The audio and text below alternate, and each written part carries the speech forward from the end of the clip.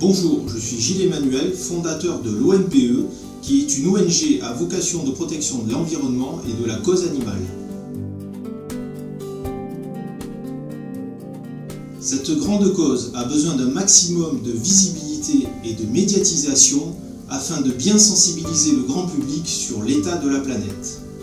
En ce sens, le cinéma et ses représentants sont les meilleurs ambassadeurs de la défense de la planète. C'est pour cela que nous lançons la campagne Le cinéma aime la planète pendant les 12 jours du Festival de Cannes. J'invite tous les acteurs du cinéma, producteurs, réalisateurs, artistes à venir me rencontrer à Cannes pour s'engager ensemble pour le bien de la planète. Car c'est ensemble que l'on fera bouger les choses. Il reste tellement à faire. Si vous aimez la planète et les animaux comme moi et que vous rêvez de grands changements, alors devenez les défenseurs de la planète avec l'OMPE.